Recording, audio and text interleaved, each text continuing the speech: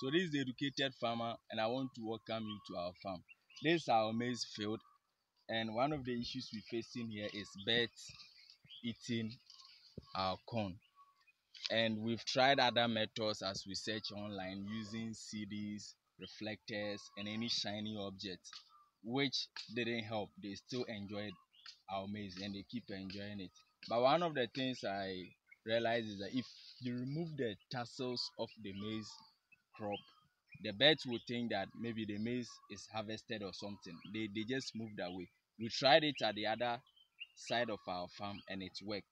If you look at this area, you can see we've done same. So you just remove the tassels.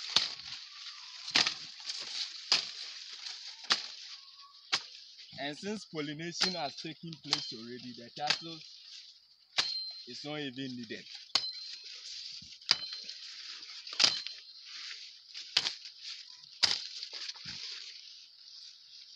It's just a little bit of work, but you are very fast enough to can actually do more.